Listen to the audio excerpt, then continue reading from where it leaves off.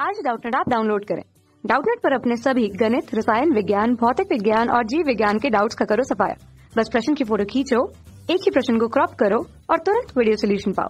अभी डाउनलोड करें। हेलो दोस्तों, आपका प्रश्न है, निम्न में से कौन सा समीकरण सही है?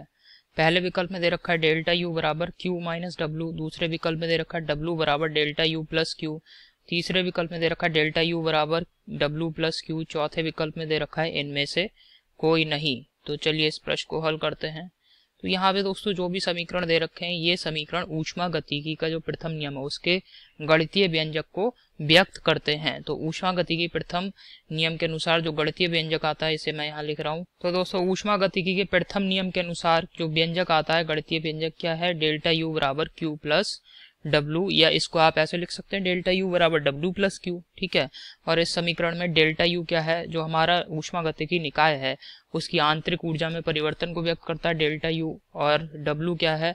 निकाय द्वारा किया गया कार्य है क्यू ये होता है, निकाय द्वारा अवशोषित ऊष्मा, ठीक है? तो हमारे प्रश्न का उत्तर क्या आ जाएगा? कौन सा समीकरण सही है? डेल्टा यू बराबर डब्लू प्लस क्यू यह समीकरण सही है। यह समीकरण सही है। अब विकल्प देख लेते हैं। पहले विकल्प में दे रखा है डेल्टा यू बराबर क्यू माइनस डब्ल्यू। ये गलत है। दूसरे विकल्प में दे रखा है डब्ल्यू बराबर डेल्टा यू प्लस क्यू। ये भी गलत विकल्प है। तीसरे विकल्प में दे रखा है डेल्टा यू बराबर डब्ल्यू प्लस क्यू। ये तीसरा विकल्प बिल्कुल सही है। चौथे विकल्प में दे रखा है इनमें से कोई नहीं। यह भी गलत विकल्प है। तो आशा करता हूँ आपको ये समझ में आया होगा। धन्यवाद।